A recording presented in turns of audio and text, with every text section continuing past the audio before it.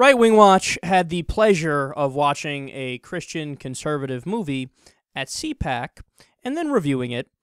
And basically, it's an attempt to make a, a far right movie palatable and not boring. So I didn't go full Rick Santorum with it and just make it like a in your face, like, this is religious, please come to Jesus. They actually got like a couple actors who have been in other things. Fred Thompson, who was on Law and Order and ran for president that one time, he was in it briefly. Some other people too. But I want to show you the trailer because it's it's hilarious because you can kind of see through it and you can see that it's just a religious propaganda movie that they disguise with Hollywood theatrics. There are those who claim that your ministry is intolerant and may even threaten the freedom of others. Freedom is fragile and costly and must be defended by work and by faith, and even by blood. Now, your ministry reaches more people than the evening news, and I need you to get up there and announce that you fully support this bill. I cannot water down the gospel to advance anybody's political agenda. All this talk of persecution, it's gonna die, and who's gonna be left standing? You are! You cannot legislate the power of God. He's not on board. Mr. Luther, do you mind if we get a picture with my daughter? Big smile. Excellent. The girl is dead, John. And they're saying that you killed her. I didn't kill anybody.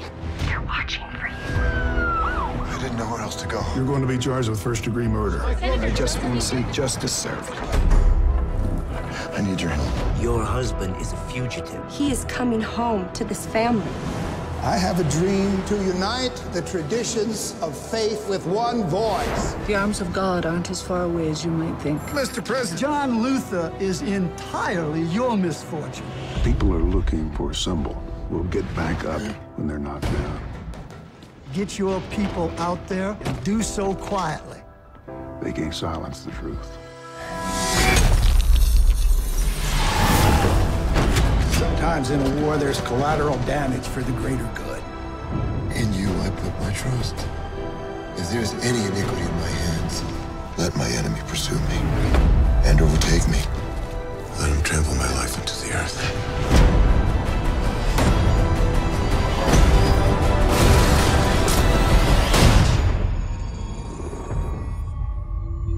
If you take away a man's right to speak his mind in a country founded on that very principle, you don't really have a country now, do you?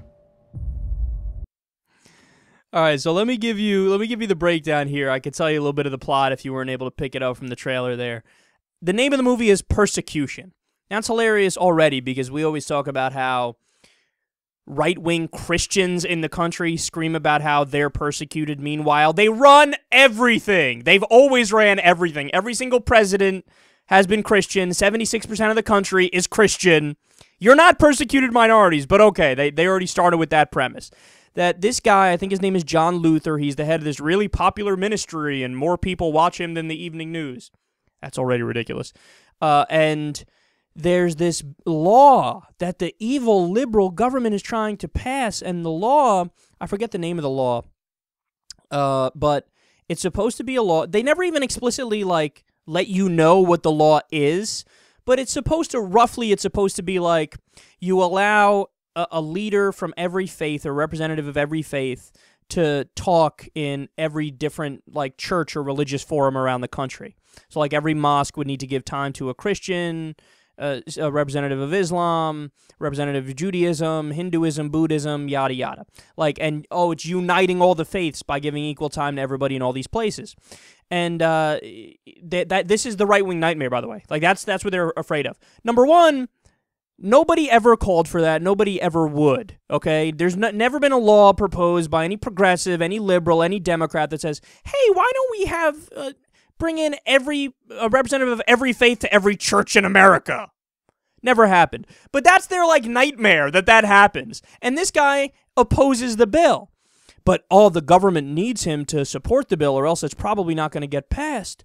So what do they have him do? They frame him they drug him and then make him take pictures kissing girls and then the big bad government tries to kill him because they got to kill him to try to get this law passed which gives equal time to every faith like you're stretching so much. None of, none of this is realistic. It's all fake. It's all silly. It's not even like fucking fred thompson is the biggest star in the movie. That might say something. And also you saw gretchen carlson was at the beginning.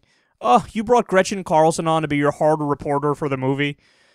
It's so silly, man. It's so silly. But of course, the right wingers, anything that speaks to their narratives that they are somehow persecuted, they are somehow this oppressed minority, they somehow, the government is cracking down on them, all nonsense. But they love the narrative, so they'll probably support the movie.